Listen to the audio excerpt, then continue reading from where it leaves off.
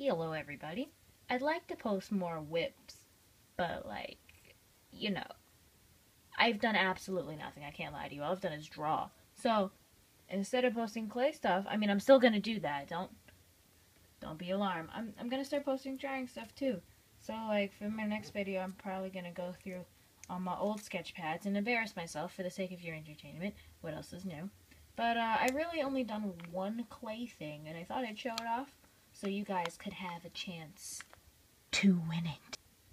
So what I've made here is this tiny little, well not really that tiny, it's like two and a half inches I think, rose quartz figurine, and she's a big beautiful woman. Yes, and uh, she's not completely done. I still have to glaze the base and put the magnet in her butt so she can stick to the base. But I'm giving this away on my Tumblr. So I'm going to put the link in the description box, yes. But, um, you know, she's made the same way I usually do it. Sculpey, paint. Except I pulled the armature out. I don't know why, but I did.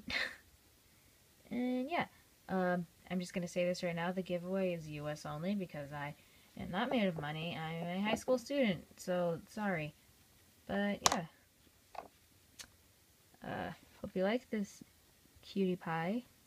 And um, if you have any suggestions for clay stuff, because I'm absolutely dead. I'm dead and I'm lazy. So um, if you have suggestions for stuff, I would probably take them. I'm just gonna say, if it's Steven Universe, six out of ten chance I'll do it. Six, six out of ten. Yeah. Okay, bye. Oh my god, I'm so out of practice.